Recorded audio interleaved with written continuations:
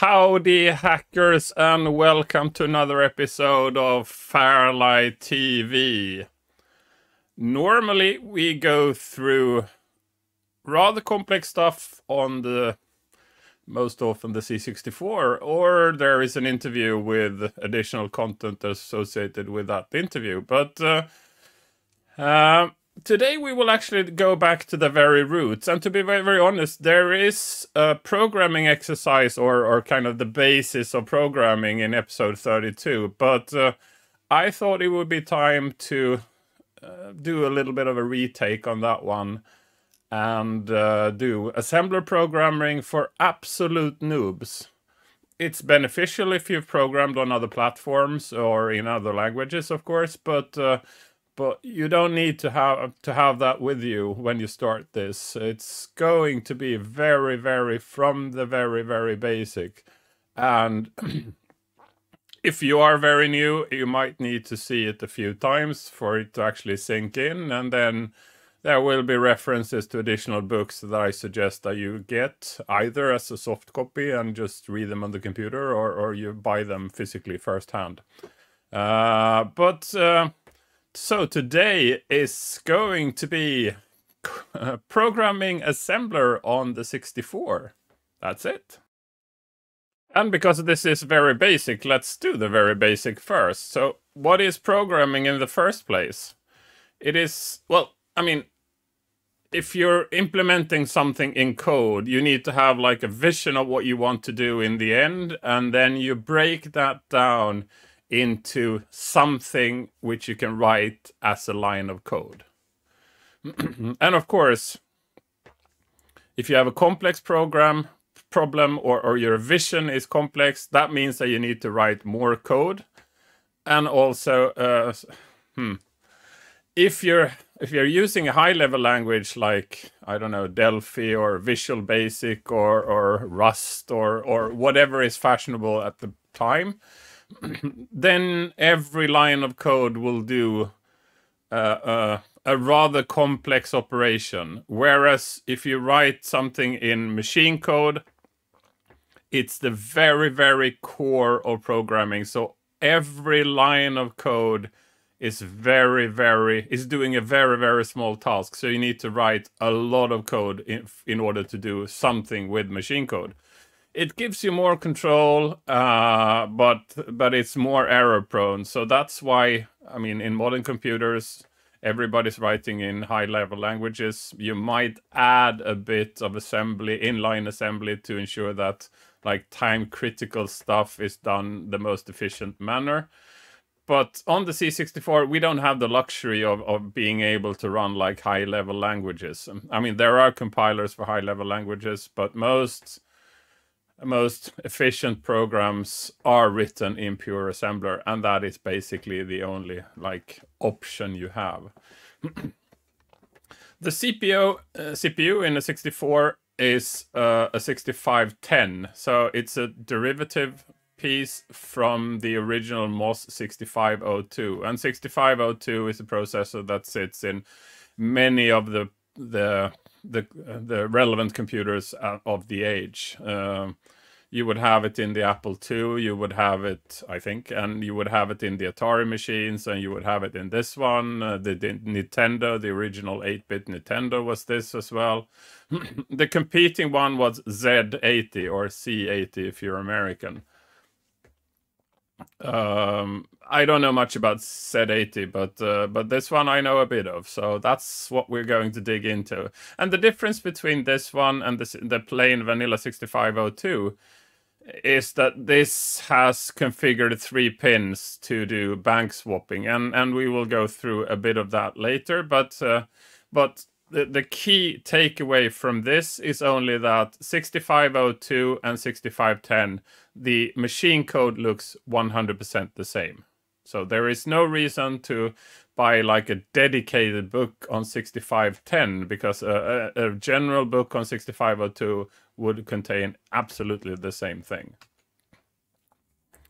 Um, I'm taking this one in like a different order. So the address bus that is the CPU's uh, the number of pins the CPU uses for addressing memory. And uh, this is 16 bits on 6502 or 6510, which means that it can address 65,536 bytes. Uh, that's that's a string of uh, 16 zeros up until the uh, 16 ones. Uh, that's sort of the maximum you can set when all the address line are set to one.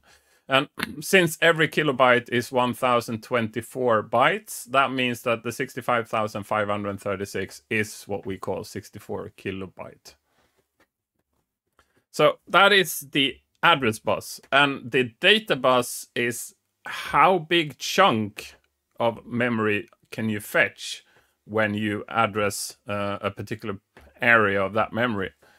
Uh, and what you can address here is 8-bit. So it's an 8-bit computer because the data bus is 8-bit. Whereas, uh, I mean, 16-bit and 32 bits are, the, or even 64 bits are, are now the more common ones. The original ones were basically all 8-bit and Z80 is also 8-bit. So, and, and those 64K, they are addresses the computer can address, and that's sort of external. But uh, in order for, for doing the operation it's supposed to do, uh, it has internal register. You can think of them like an address with a specific meaning and, and a specific name. So accumulator is the main register for doing all the operations, and we will go through that. It has two like indexing registers, X and Y, uh, so it's not always so that you want to go to a specific address, you want to go to an address plus an index, and that's what the indexes are for. There is also a status register, so if you add, um, a byte can hold 255. So if you take 200 and add 100, uh, you would need some some mechanism of marking that it there was a spillover. I, I couldn't fit this, so I have the result, but but it was actually more than than the result. It was like 255 more than the result and that's that's one of the things and you can compare things and if it's smaller or or or greater that's flagged in the in the flag register so the status register holds a number of flags uh, like one bit on and off depending on uh, the the previous operation and then of course there is a program counter that is the internal register, 16-bit register, that keeps track of the current address that um, the CPU is addressing. Okay, so the difference here between machine code and assembler, uh, it's also kind of paramount. Machine code is the binary code that is actually executed by the CPU. And that one looks like something on the right here. But and you can write that if you use something called a machine code monitor uh, on the c64 most people would have some sort of cartridge and that would contain also a machine code monitor in other computers the machine code monitor is also built into the computer but for the c64 we need to plug it into the back of the computer and and evoke it by pressing a button or anything you can disassemble that is showing the the binary as uh, interpreted as uh, machine code. So it's more humanly readable. Uh, so what is actually in here in the memory is 18, 80, 00, 20, 69, 10, and, and the numbers you see there. But but given that humans tend to find that quite uh, daunting to read, uh, the the the interpretation of of how it looks, what it actually means is what you see on the right. So the CLC, LDA20, ADC10, and, and all of that. Uh, and you can poke that into the memory yourself directly using a machine code monitor, and that goes absolutely fine. The issue is that it's it's quite daunting to edit that because if you want to insert something in the beginning or, or uh, like in the middle of something you have written, you need to move everything very manually and then you need to recalculate the number of things for that to work. So what we do instead is we write a text file and then we have an assembler that helps us convert that into the machine code. But as you see in the on the left, the the, the instructions are exactly the same. It's it's just that we make it more handy to edit things uh, and, then like only in the secondary phase do we convert it to the binary that the computer can actually run. Right so let's take the next one here. Uh, yeah numbering systems. Uh, as you've seen before uh, i marked a number of the numbers with the dollar sign and that's because they are hexadecimal. And and i know this is confusing because you're we are all very used to counting to 10 probably because we have 10 fingers uh, counting to 10 is the logical thing. And we have 10 symbols and they are 0 to 9 so we have a symbol for 0 we have one for 1 and, and there you go. Uh, and if you count to 9 and want to state something which is bigger we need to go back to 0 and then add a 1 in the 10 column so again, decimal has uh, a zero, uh, like a one column, a 10 column, a hundred column, and a thousand column, and there you go. Uh, so the position of the numbers are also relevant to, to state kind of the, the number you are trying to express. Computers, they run binary, so it's, it's zeros and one. Um, so if you want to express a large number in binary, it becomes silly long. I mean, the 65,536 is 16 ones in a row. And that's not very convenient for humans to read. So, uh, like, a, a, way to find like a common ground which is expressing uh, what the computer uh, is handling in binary with something that is more humanly readable. A, a fair trade-off to this is the hexadecimal numbering system. Here you have 16 uh, symbols. Um, and so they are 0 to 9 and then out of what, what is convenient something where we know the the range so we we added a to f for that uh, and the good thing is that computers they use bytes and if you take a half byte that is 4 bits and the maximum thing that you can express with 4 bits is 16. So hence, every 4 bit converts to a hexadecimal number because they can be from 0 to 15, so 16 different items. Uh, so that means that uh, an 8-bit uh, byte can convert into two hexadecimal numbers. And also, if you have a 16-bit range, of course, that then turns into four different hexadecimal numbers. Um, so it's it's it might feel unnatural if you haven't seen this before, but uh, trust me, when you have done this a number of years, hexadecimal is the way to go. If you want to mess with computers, on the lowest level, hexadecimal is so much easier to read than decimal. Um, but yeah, yeah, it's not obvious if you're new to this, but uh, and if this wasn't easy enough, watch this portion again and see if you get it, because uh, converting binary to something which is more humanly readable, hu humanly digestible, hexadecimal is a very, very good trade-off because like every symbol matches to four binary bits. That's it. Okay, memory mapping on the Commodore 65. Now we get into the actual machine, the hardware configuration of the C64. And I've done an episode on memory maps on the C64 as well, so there will probably be a link in the description to this one. But uh, this is one of the kind of standard uh, matrices that have been shown in this context. So the C64 has 64K of RAM, so the underlying part here, and here you can also see the addresses stated in hexadecimal. Uh, so they are between 0000 and FFFF. Uh, but the, the C64 does not only have RAM, it has ROM as well. And, and given that the computer, the CPU, can only see 64K. There needs to be some sort of mechanism to ensure that sometimes it sees ROM and sometimes it sees RAM. Otherwise, the RAM wouldn't be accessible. And these are the three extra pin on the 6510 compared to the 6502. Those three pins generate a number of combinations where the memory map of the computer would be different. So if you have the, um, if you set them to, I think it's four, that means that you have all RAM. But if you set them to seven, then you have RAM, BASIC, RAM, I/O, color RAM, and kernel.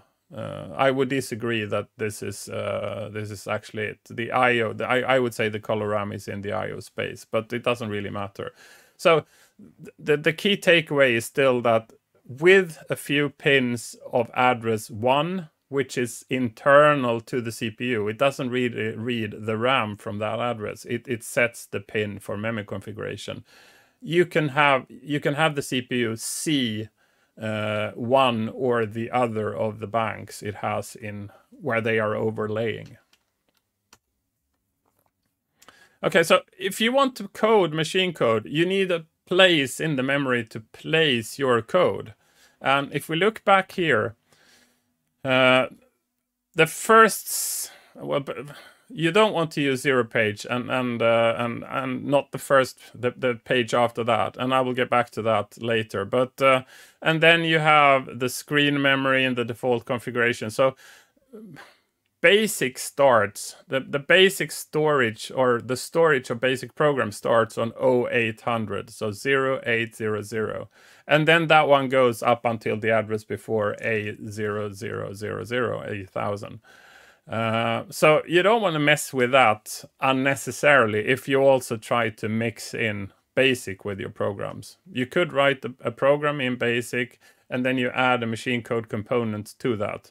And if you look at the memory map, there is like one hole where there is all RAM and nothing else but it's not accessible to basic. And that is the area between C1000 and D1000. So uh, if, well, if you see early machine code examples, they are almost always placed on C1000 because it's a convenient place. And if you want the very nice and even decimal number for that, it's 49152.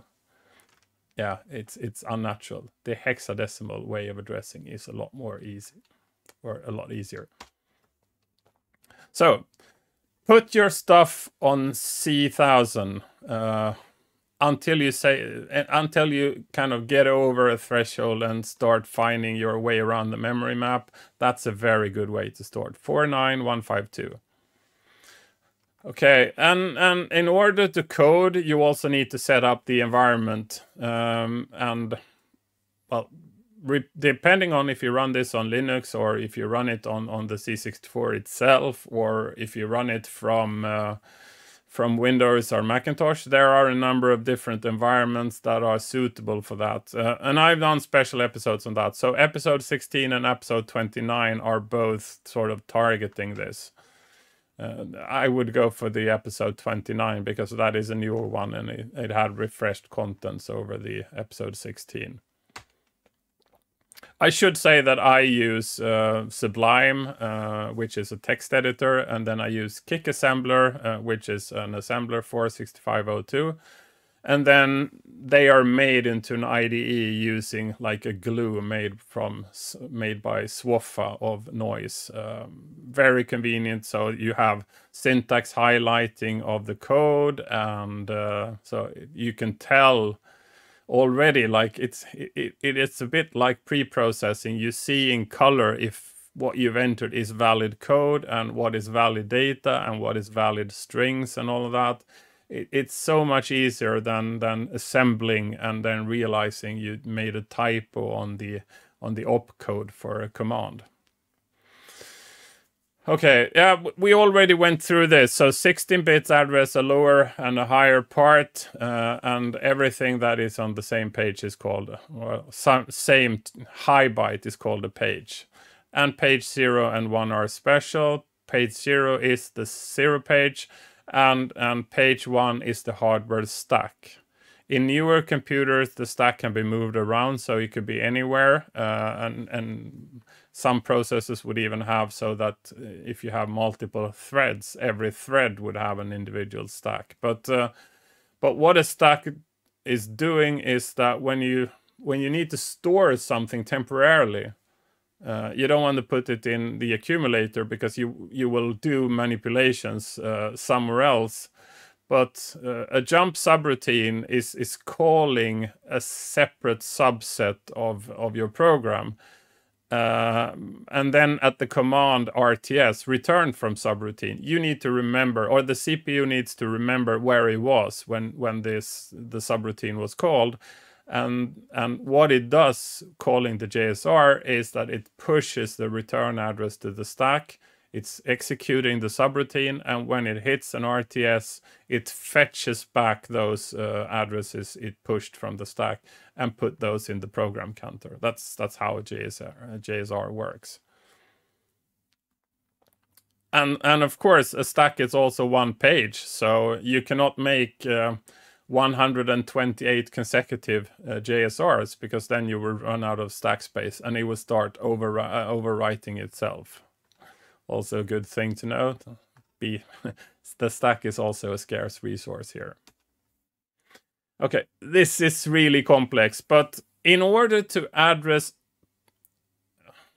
address places in the memory um, or or start ma doing manipulation in your code, uh, you could have the immediate addressing mode, and that is taking a value that you put after the instruction and put that into the accumulator. So LDA means load accumulator. Hashtag means that it's immediate, and dollar means that it's hexadecimal. So uh, hex 10 is the value of 16 uh, and you put that value into the accumulator. That's what that one is doing. Absolute means that you read from a memory address. Here, LDA 1000 is, is stating to the CPU that you should go to address 1000 in memory and take those 8 bits and put them in the accumulator.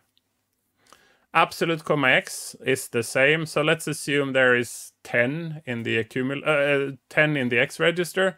The LDA 1000 comma x would fetch the 8 bits that is on address 1010 and put that in the accumulator. Zero page uh, special addressing mode modes uh, in association with uh, the zero page the instructions could be shorter because it only needs to kind of state the low byte of, of the page you're you're seeking to address here. So LDA 13 takes takes the 8-bit that is that are the, the ones that are stored on address 13 and copy that to the accumulator. It's it's faster and it's shorter but but the zero page is really small so you can't store like massive parts of data. It needs to be really essential the parts that you you use the zero page for. Um, but there are also addressing modes uh, comma x and comma y. They are they work the same as the absolute comma x and comma y one thing to keep in mind is that uh, the zero page comma x that one wraps so it always reads an address on on zero page. So if you if you two if you assume that x is one and you read from address ff comma x that sums up to address 100 and it cannot read from address 100 that will read from address 0 it would like skip the highest part and only take the the low part, the low byte of that address. Indirect, uh, yeah, it's it's of course the the absolute and the direct would be sort of the same. So indirect here, jump, uh, JMP is jump, jump to the address that is stored in address 1000. So it's not jump to address 1000, but it's fetching the address that is stored, the the the two byte address that is stored in address 1000. And then the, the really fussy part here is the indirect X and Y using zero page. Uh, I, I, hope that my explanation here sort of covers it so you can also read it. Uh, so LDA inside of parentheses uh, 10 comma X, where X is let's say x is 6, that would read the 8 bits stored on address 16 to the accumulator. And you see also here that x is inside the um, uh, the parentheses. Whereas indirect comma y, it's a different mode. So here it's uh, it's taking the address that um, address 10 points to. So let's let's say that at address 10 and 11 uh, there is the value 1000 and y is 6 then it will read from address 1006. Uh, this might not be natural, and the difference here between x and y is is quite quite difficult to understand at first, and and this is probably also not the addressing mode you're going to use first. Uh, personally, I use the indirect comma y a lot when I make copy routines. Um, you could use the zero page as pointing to where you want to read from and where you want to read to, and then you just make the the uh, indexing using i. I, I rarely use the uh, LDA comma x here, um, zero page comma x. Uh, I don't really see the need for that. But uh, I mean, there are of course cases where that is convenient, but uh, the the y option is a lot more convenient.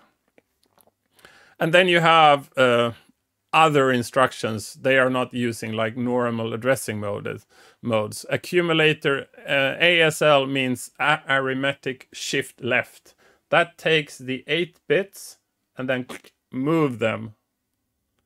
So what was on bit 0 uh, is on bit 1 and the bit 7 the, the last bit or the highest bit that one is moved into a carry register. So one of the bits in the in the status register that we discussed before is used for that. RTS is returned from subroutine. It's implied. I don't know what it's called that, but that's it. And then uh, then if you do compares and you want to do something that alters the running of the program, depending on this or that, I would like to go there or there there is the branch uh, feature or the branch branch command. Here it's branch or not equal, BNE. Uh, and they can only uh, be plus. Yeah, you, you can do 127 bytes forward and, and backwards. Uh, one is 128. I don't remember which one is which, but uh, so, but you, I mean, you never need to know this. You just type it into the assembler. And if you want to do a branch that is beyond that, the assembler will give you an error saying, no, no, no, that's too far. You cannot jump that far. So branches are, so the value given after the branch, it's, it's relevant to the assembler to, that it's address 1000.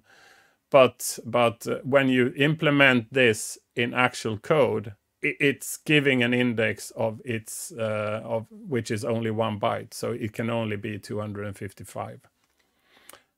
There will be more. There will be example code where I explain this a bit better, I hope. Okay, um, more on addresses. So here you have the same example as before. I just like to show you that the way things are stored here, which might not seem logical, is that if you if you watch address 1001, it's AD002000. That's load accumulator from address 2000. Here you see that they have the low byte first and then the high byte. Uh, the, the way we normally read numbers is that we take them from the biggest and then read them to the smallest. Uh, but this one is doing it differently. Uh, it's taking the low byte and then the high byte. It's 6502 works this way and and it's just kind of getting used to that's the way it is so and what I don't have here, but I also like to mention, when you code assembler, one of the absolute benefits is that you can give a logical reference and, and like a, a name reference to an address. So jump to address 2000 Yes, but if you if you in your code give address 2000 the name start, you can do jump start and then that would be converted into the actual address in the assembly phase. But we will get to that as well, but that's also sort of relevant for this. Okay, so that's the computer, that's the memory configuration and addressing modes that the CPU can use. If you look at what the C64 has in addition, it, it has a number of chips that are doing a lot of things. The the you have a, a, chip which is taking care of video. You have one chip that takes care of the sound. You have two timer chips that that keep track of time and and handle input and output. One of the features that the VIC chip has and the two timer chips they they also have that it's the uh, interrupt request so if you're running your program and suddenly the CPU gets an interrupt request, it will pause the uh, the execution of the program where it was and it will start handling uh, an IRQ, an interrupt request. Um, and we will see a few of the examples later that shows this, but the VIC can do that based on raster interrupt. So a raster, think of think of drawing the screen as like drawing it line per line. And here you can set the VIC to signal that I'm now on this line. So if you wanted to on, on address uh, or line 30, when just before or just when the VIC starts drawing at uh, line number 30, it will trigger int interrupt to the CPU and then the CPU will treat that and handle that. And you do something that happens on that particular line. And and that is absolutely vital for a number of things. If you would like to do like a picture on top and text at the bottom which is kind of common in many games a raster interrupt is used to find that particular line where you change from bitmap mode to character mode Okay, and and the C64 or the VIC has a feature of sprite. That is a, a little independent graphic object that can move freely uh, without uh, like colliding or or messing with the graphics underneath. Uh, and and uh, if you have an area where there is no background and then it bumps in, so you you kind of collide with the pixel then you can have a sprite to background interrupt as well. And of course, if you have two sprites and they collide, where um, where one of the bits on the on the sprite collide with one of the other bits on the other sprite, you will have a collision that is marked inside a register for both those sprites. There is a, similar one for LightPen. Uh, yeah, LightPen. They weren't very successful on the C64, but but it does work, and and uh, yeah, they can also trigger an interrupt. And the timer chip, the CIAs, they can also trigger based on the number of criteria. So you can set the timer to count down, and and uh, when it has counted down, it will trigger an interrupt. An interrupt is flagging to the to the CPU that uh, there is an interrupt. Please handle that. But it cannot enforce them. Uh, and then you have like the higher level of an interrupt, which is a non-maskable interrupt.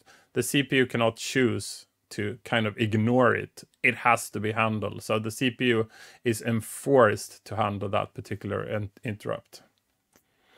Uh, and if you're running a C64 standard, there is a timer interrupt that goes, and and so on a regular interval, it checks keyboard uh, and updates uh, the time of day. I think that's what it's doing. So there there is a running interrupt in the normal operation of a C64. It's not like an exceptional thing, thing. It's a standard thing to have in your programs.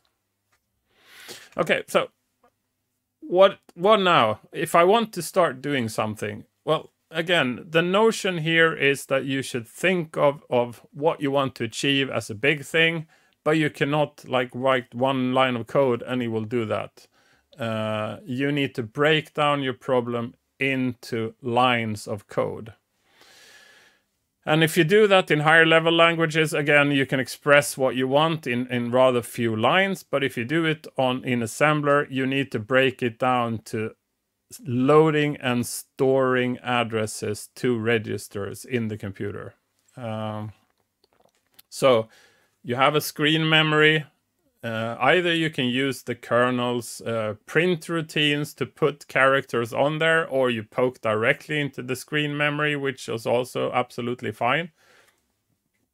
If you want to show a bitmap, or if you want to show a sprite, or anything else that is handled by the VIC, you poke areas or registers inside the VIC and tell it that that is what you want to do. So if you want to put the sprite on the screen, you need to tell where it is, uh, what color it has, um, if it's expanded or like normal size, if it's high resolution or multicolor, and also point out the memory area where the VIC can find the sprite data that you want to display. And we will get to that. Uh, and so so that would be sprite and bitmap. And also uh, if you have characters written on on your screen uh, you can change font very easily. You can just point the vic to another font. So you load a font into memory and tell the vic that okay these are the typography i would like to use uh, so what I have here is sort of a, a, very, it's actually a very old example because it's a very old version of Vice. So what I have here is Sublime in the middle, the text editor where I have written a piece of code. I have assembled that using KickAssembler, and uh, and again the glue by Swoffa is is making sure that I could just press F7 and then I have installed Vice, which is one of the potential emulators and the one I prefer to use, and I would say 95% of everybody use. Um, and what happens then is that the program is automatically fed to the emulator, and and uh, then you just run it there. Uh, so in the middle, you see here, uh, and I will tell you what the program is doing because uh, we will start looking into what programs actually do. So LDX is I am setting a counter to X. And then you have uh, a variable here, which is loopx. In KickAssembler, the variables end with the, or, the, or the, sorry, the labels here, they end with a colon. Um, in in other assemblers, they, you don't need the colon, but uh, but for reasons, uh, this is how KickAssembler expresses that. And then I should load accumulator from uh, the text tab comma x. And text tab you see that down uh, at the lower part here here. So it takes the first byte because x is zero which so the first byte it reads is this zero e. Uh, and then it checks what the, the the value I just checked uh, the fetched was that zero if it is zero, then you jump to end. If it's not zero, it's doing a jump to subroutine on FFD2. And this is the kernel routine for printing. Okay, so you have basic ROM mapped in, you have kernel ROM mapped in, which means that you can call the sort of service routines that are there. So you just need to read read up on all the potential routines in the on the kernel and and in the basic ROM, and then you can take advantage of them. Okay, but so zero, it wasn't zero because then it would have ended, and it printed. It increases the X register and then jump to loop X, and it reads the next character here, uh, and that is the eight. And then it will do that. Take this part the text tab up until it reads byte zero, because then the condition here, branch on equal to end, will be qualified. And then it jumps to the this part, the end here. It does an increase, so it inks uh, a memory address, DO20, and then it just immediately decreases that. This is the border color. So it's it's part of the VIC. The VIC has uh, the addresses that start with D1000 and then upwards. So what you see here is on the left, uh, it increases the uh, the border color and then decreases it. And given that it's doing this very fast, you will have very thin lines where you increase and decrease. And if you look at the uh, the disassembly, if I go into the machine code monitor of Vice, this is what my source code turn into. So this is the binary representation of that code here. And of course, it's uh, the last one is a byte zero, so, so it's up until this zero here. The rest is the garbage that is just in memory. Uh, I don't clear memory uh, or anything. I just place stuff in memory and then I utilize the parts which is relevant to me. And the rest would be garbage still. So that's like the first piece of code. It prints hello world. That's the mandatory first test for a programming language. You should print something and you should say hello world. So this is doing hello world. Okay, next example. Now it's getting really tricky rather quickly because uh, um, I want to go down to, to something which is kind of educational here as well. So I place my code on C1000. I set the interrupt. So now I prevent interrupts from happening. So if they happen, they queue up, but I don't handle them. So I can prevent that. That's why they are interrupt request and not the non-maskable interrupts because they cannot be prevented. Uh, and then I load uh, 01 to accumulator and store that to DO1A. That tells the VIC that I would like to trigger raster interrupt. Okay, so this drawing of lines, that kind of an interrupt, I would like to have that. Uh, and then I tell the VIC that I would like that to happen on address line FB. I just picked a line. It's it's low in the in the very lower part of the screen. And then there is a register here that is DO19. Uh, that one is flagged uh, when the interrupt happens. And you need to clear it by writing stuff to it. And this is a convenient way of doing it. This is sort of, if you if you think some of this is black magic, that is sort of the black magic of this. You just do that and, and don't ask. It's just the way you do it. And in order to ensure, because there is like only one channel uh, or one vector that is called for interrupts, and then you need to decide wh what interrupts are there. Was this a timer interrupt, or was it the light pen interrupt, or was it something else? What what you typically like to do then is to ensure that you cancel out all the sources you don't want. So you just set the ones you want and the, the rest should be disabled. So setting the VIC interrupt to just the raster interrupt, that eliminates all the other potential VIC sources. And what this does here is this it's terminating the timer interrupt. So this is this is ensuring that the timer interrupt isn't or the, the timer chips aren't sending in the interrupt request to the CPU because we don't want them for this. And then uh, the the interrupt service routine inside the kernel, the one of the system chips then uses a vector on 0314 and 0315. So what you do then is set the address that you would like to be called when an interrupt happens. Normally you need to push the content of A, uh, so the, the register, to ensure that they are retained from when the, when the interrupt code is running. Um, so and that and that's the beauty of doing it like this because if you use the kernel routine the kernel would take care of the pushing and all of that. You don't need to worry about that. You would once it has done the mandatory parts then you get to take over via this vector. Uh, and then it clears the interrupt so now interrupts can happen but and the interrupts that will happen are the raster interrupts on address fb and when they happen, they will call the address that has the label of IRQ.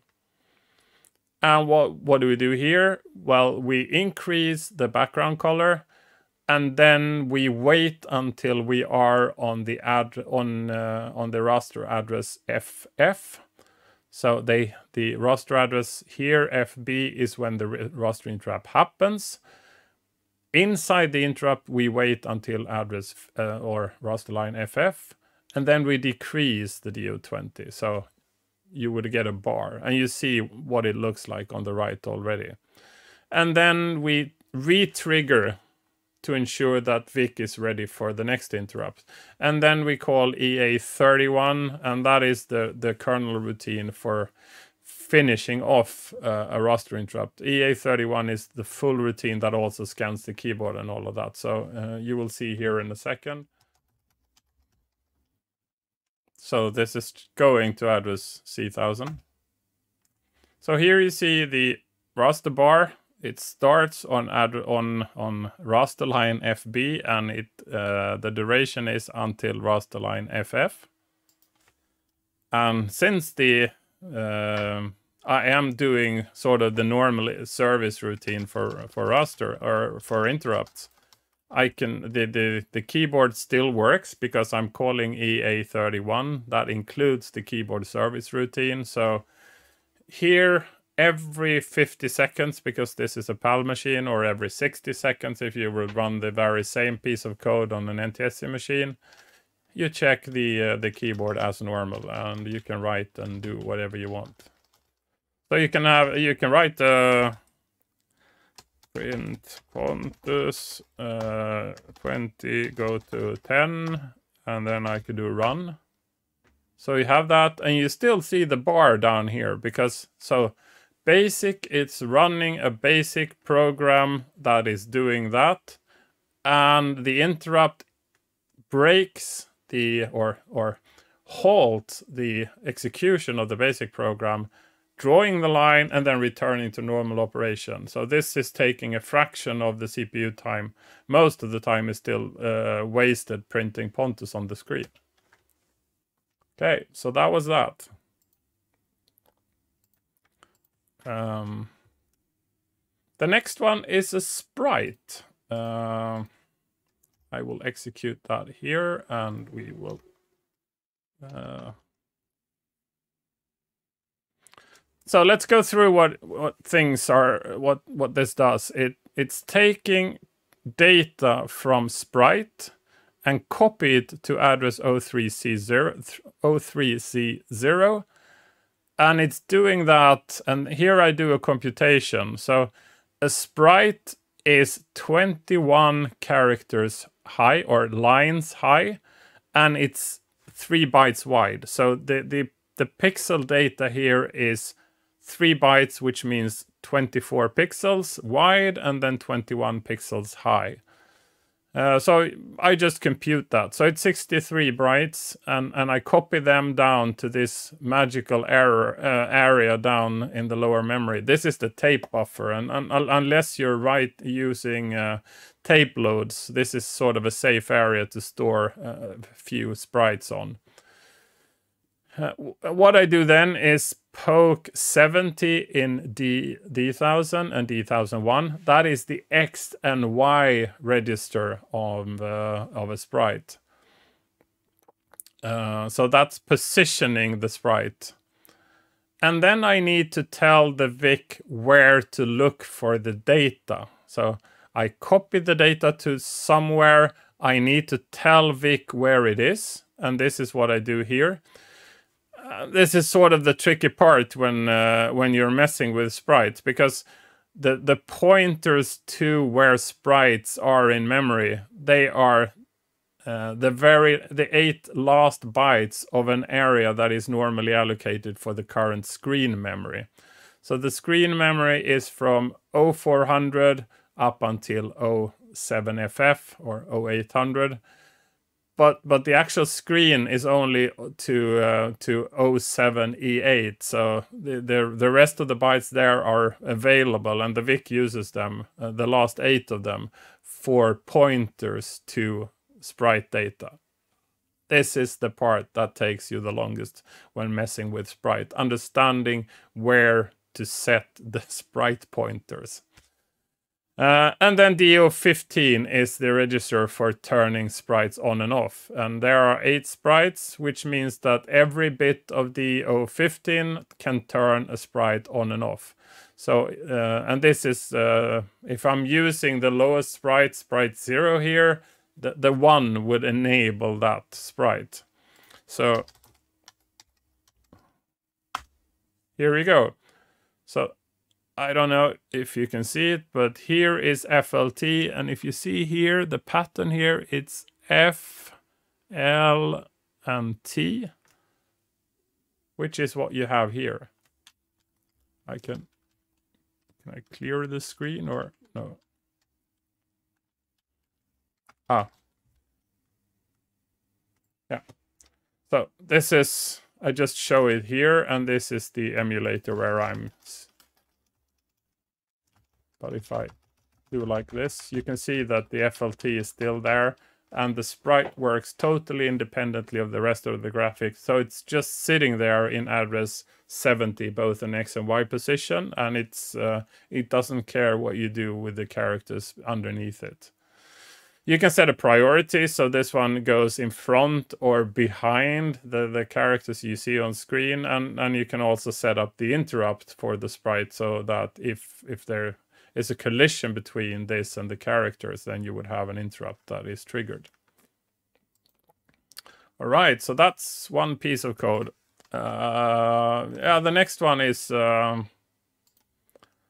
I'm not saying these are the perfect examples, but here I'm using AB1E, which is a routine inside BASIC to print the string. Uh, and the string you see here, uh, it this one is for clearing screen. So intro is the text string here. And then it prints C for color, U for upper, L for lower. And then it's doing a carrier carriage return. And then uh, it's the marking the end of the string with a zero. And, and the AB1E is very handy way of, of uh, printing a routine or print, printing a, a, little string of text to the screen. It can only be 256 bytes, so th there are limits to this. But uh, if you're printing something which is really short, that's the very, very efficient way to do it.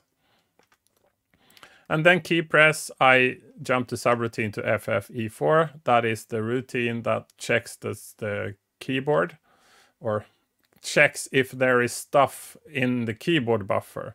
So the IRQ put stuff in the keyboard buffer and then you call FFE4 and that fetches stuff from the keyboard buffer.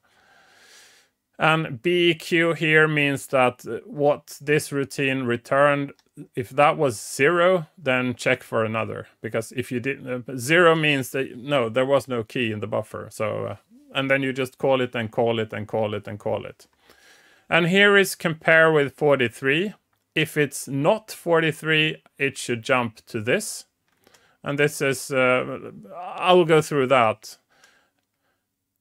And then it compares with 55 and if not if it's not 55 it's going here. It's comparing with 43 and if it's not that it go back it goes back to key press. So 43 is the character C, 55 is the character U, 4C is the character L. So for color, for upper or for lower case.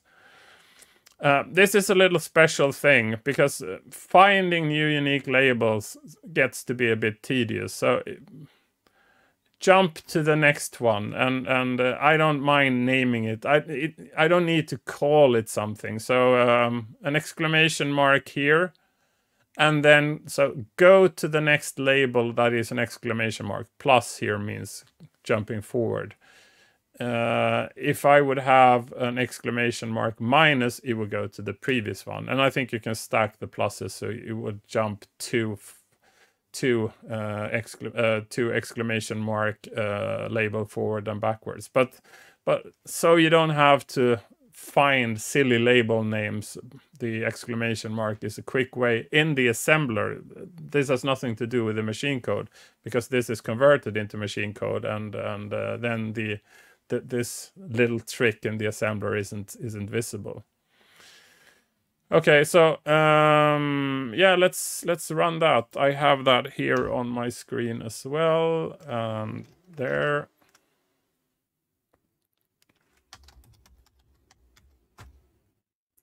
Okay, so this is upper.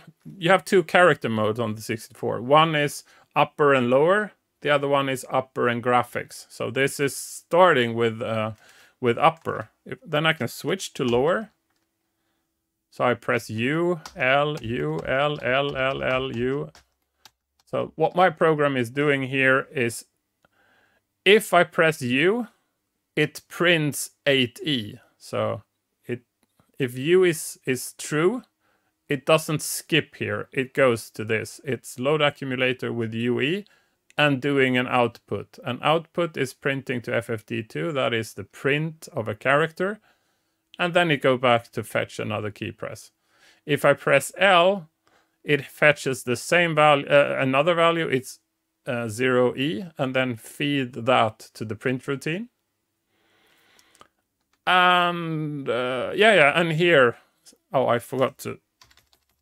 Here, if I press C, it will increase DO20, so it increases the background color. It's a silly example, but it kind of shows what you can do here. Right.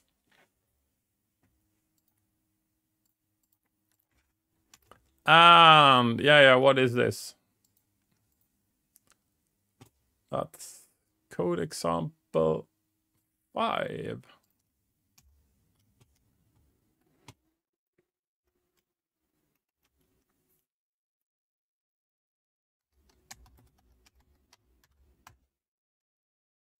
So it's this is this is probably going to take some time to digest. I set the interrupt to ensure that I don't get any interrupts while this is happening. And then I take the DO12, which is the line that the, the raster line that the CPU is current or the VIC is currently drawing. And then I logically shift that to the right, which, and this basically means divide by two. So divide by two, divide by two, divide by two. Uh, which turns to be divide by 8, right? So 2, 4, two, four, 8. Uh, that means that the rows here are 8 pixel rows high. And then I store the value of this into DO20. And then I also do a little fiddling here, uh, masking and, and um, masking, uh, well, taking away everything except the lowest three bits and, and then add C to that. So um, that means that the end result could be something between C0 and C7. And then I store that in DO16. That is the fine scroll register. You can move the screen right to left. Um, one pixel at a time. And this is what you set on the lowest three bits of DO16. So that's why you see this sort of curvage. Uh, it's, it, it, looks really ugly, but it was a quick thing. And, uh, and then I have jump to exclamation mark minus. Again, the convenient way of addressing something without giving it a proper name as you can see, it's flickering. So this is not usable for anything. It's just uh, showing a bit of graphics on the screen that does something else than just printing. Uh, and yeah, I had another code example, but I didn't have a picture for that. Uh, yeah, let's do that here. Oops. Uh, let's try again.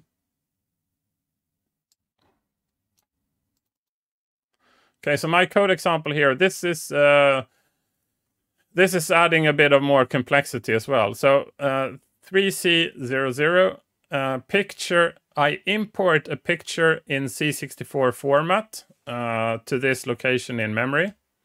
And then my routine is at 6400. And there are reasons why it is like this, because uh, the the picture ends here on uh, 63E8, I think. So that that's basically the first free page.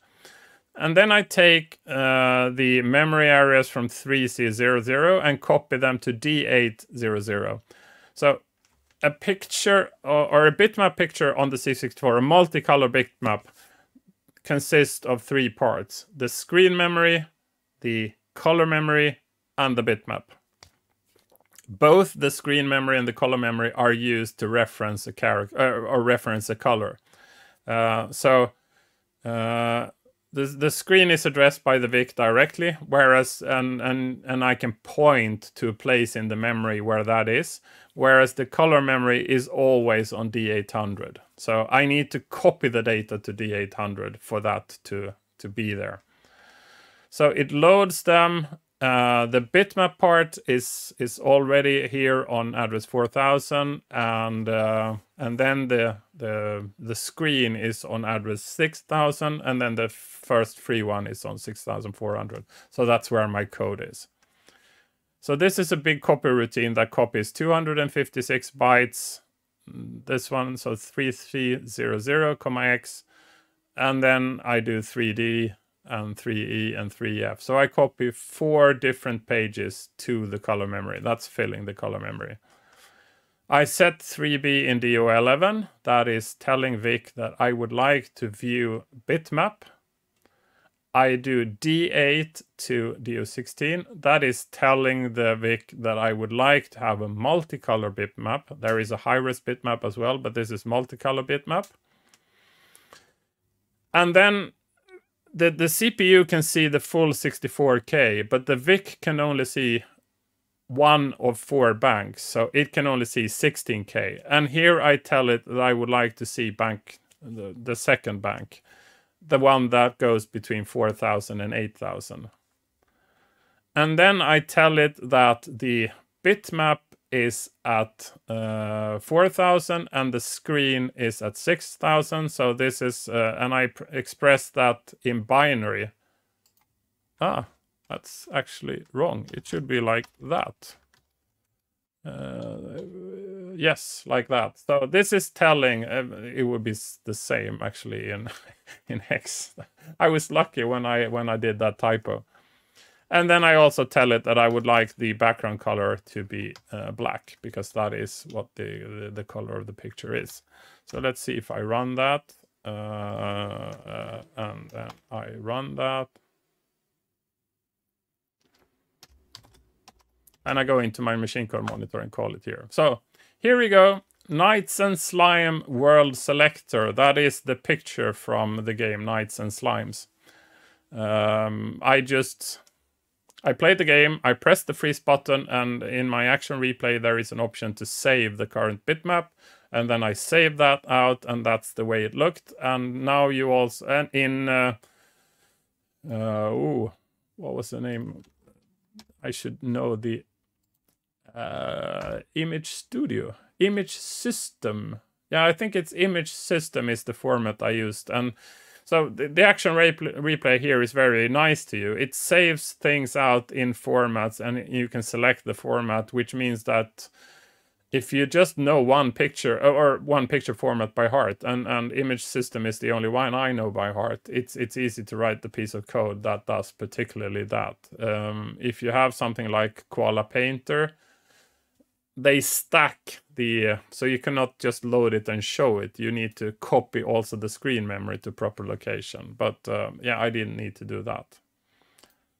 All right. Uh, that was a few examples. So where do you take it from here? Well first of all uh, there is no way you can be good at coding if you don't code. So set yourself a number of targets and and i just given a few examples and i know that uh, that a, a, few of those i've already done for you but uh, you should do them yourself to ensure that you are aware how it's done because then you can do it yourself not just copy what i just written. So print a string on the screen that's a good way to start. Uh, place a sprite on the screen and i know understanding the vic is quite difficult but once you get a hang of it it's quite logical well, once you have the sprite there, start reading a joystick or or reading a keyboard and uh, and then start moving the sprite around uh, so you can actually control the sprite. And adding to that also set up a raster interrupt. Ensure, well first of all you can do you can check the keyboard or the joystick based on the raster interrupt to ensure that you check it on a regular basis but also see if you can manage to get the sprite to hit stuff. P place two sprites and have them collision and see what the interrupt is doing and and have one sprite collide with with characters you put on the screen and see what happens. And then show a bitmap picture, of course. That could be another project. And uh, do a soft scroller. Have a little row of text that runs across the uh, the lower part of the screen try to play a tune. Uh, most of the tunes um, you would you would call the first address of the tune, let's say address 1000, and you have a zero in the accumulator and you call it, and that is setting that subtune. Some some pieces of, of, of music would have multiple uh, tunes in them. So you, then you set um, a, a one to the accumulator and call the init routine, and then it will start playing the the, the, the second tune or, or the third tune or whatever and then you call an IRQ the the play in every IRQ. So once every 50 or 60 seconds, you call the music routine, and then it will play stuff in the in the SID to ensure that something is heard in the in the in the speakers. And then you try to combine all that. So you have a bitmap with a scroller, and then you play music. That is a challenge. Let's see if you can do that. Another thing, Sprite Scroller. That was cool. That's one of the projects I started doing. I was showing a bitmap and then I had a sprite scroller and I didn't move the sprites, which is one way to do it. I shifted the content of the bits. So I just had a static array of sprites and then I shifted the content. But you can do either way. Both of them works fine. Uh, and then the next idea here would be to have uh, explore the VIC tricks. You have the static border, it's supposed to be there, and the Commodore engineers put it there and had no idea it could be removed. But there are tricks to remove the upper and lower border. And if you want to learn how to do that, then have a look at episode 40 because I'm going through a bit of that and then put the sprite scroller in the border because now that the border is open you can put sprites there and you can of course put a sprite scroller in the border um, yeah and and another example here would be a multiplexer. The the this the vic can only show eight sprites but the cool thing is with raster interrupts if you have one raster interrupt on one line and another raster interrupt on another line you can move the set of eight sprites between the two areas. And suddenly you have 16 sprites on the screen. The only restriction is you can only show eight sprites at the time but as long as the uh, sprite has stopped showing you can reuse it uh, at the lower position so the same sprite could be visible sprite number zero could be visible multiple times over the screen and one of the things i would strongly encourage you to do is take a look at old demos and see how they do it. Um, and and here I would like to recommend the C64 debugger or retro debugger. So what you see here on the screen is the disassembly on the right. You see a memory map, what what content is on uh, on each of the addresses here and then you see a hex dump of memory and then you see the screen of a fairlight intro and um, yeah and the lower right is an interpretation as sprite and as font of that particular memory mem memory area. There are multiple modes in c64 debugger. The the threshold for using it is rather steep but uh, you do you press control and one of the f keys or control shift and the f keys and it shows a number of like static screens that interpret the C64 memory or disk drive memory in different ways. And there is also like a, a music player routine and and uh, and also uh, like a Vic editor, so you can actually edit the screens inside this as well. If you want to poke with a running program, you can easily do it here.